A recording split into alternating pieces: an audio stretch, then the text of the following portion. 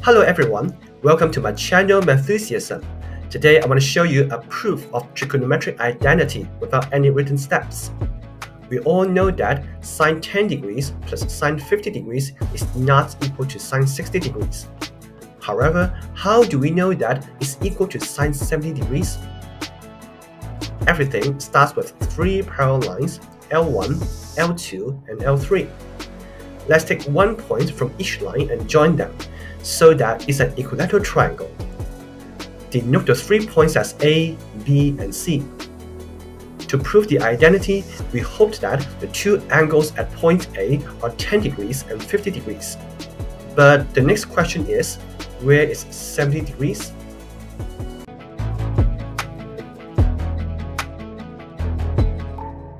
First of all, we look at the two red angles, both of them are 10 degrees because they are the alternate angles of the two parallel lines L1 and L2.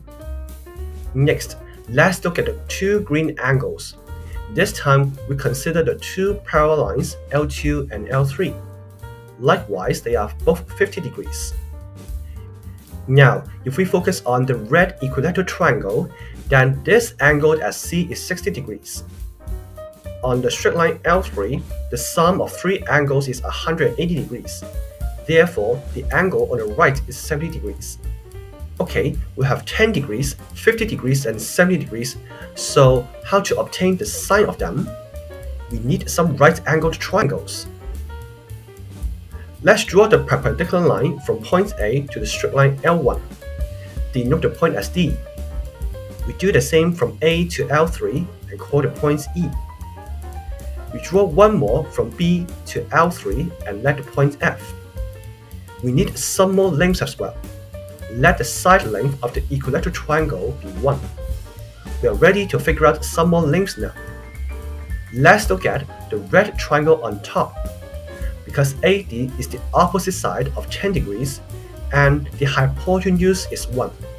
Therefore, AD divided by 1 is equal to sine 10 degrees which is simply AD is sine 10 degrees. Great, we get the first sine term. Are we going to use the same strategy to get sine 50 degrees and sine 70 degrees as well? Let's check it out. Next, we look at the green triangle at the bottom. Because AE is the opposite side of 50 degrees, and the hypotenuse is also 1, therefore, by the same idea, we have AE is equal to sine 50 degrees. Where is the next triangle to look at? Right, is the blue triangle on the right. By the same token, BF is equal to sine 70 degrees.